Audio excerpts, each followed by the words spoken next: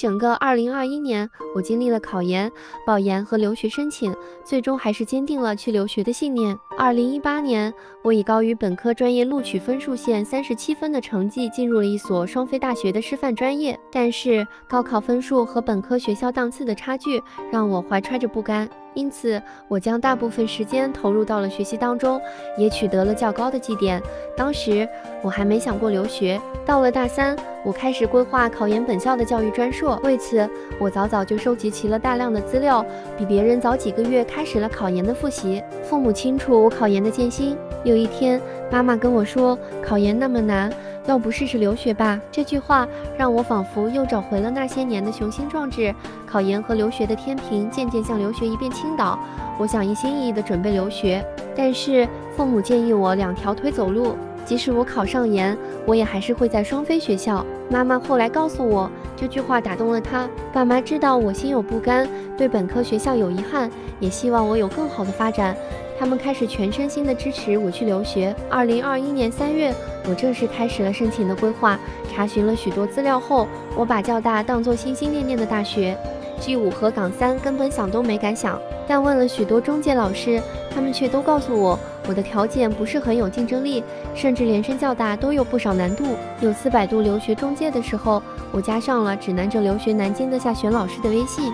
他坚定地告诉我，我完全可以去香港科技大学的数学教育，我能去港三。对当时还没雅思的我，这句话像黑色的苍穹撕开了一道明亮的口子。我开始更努力的备考，两个月的备考让我雅思就考出了首考七分的成绩。在这过程中，我的妈妈也和夏老师保持联系，她在留学方面的专业能力让她非常认可。慎重考虑下，我们最终选择了指南者留学。经过和夏老师的认真讨论。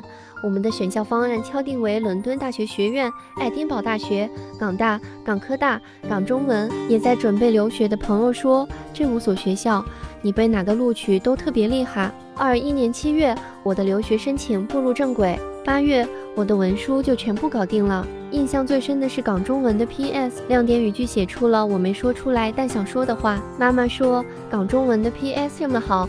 不会最先来 offer 吧？没想到后来一语成谶。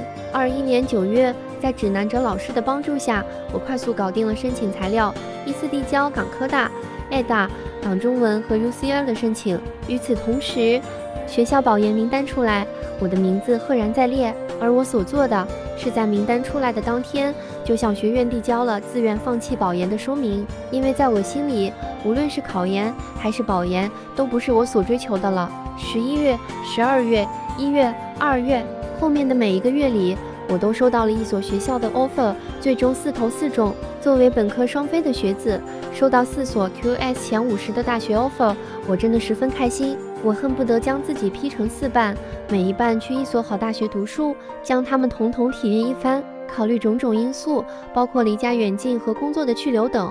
我选择了香港中文大学的数学理学硕士作为最终去向。由于香港签证的政策，我硕士毕业后可以有一年在香港找工作的机会。如果没能留在香港，我就回到内地做一名中学老师。不管未来怎样，我都会踩着时代的鼓点向未知深处走去。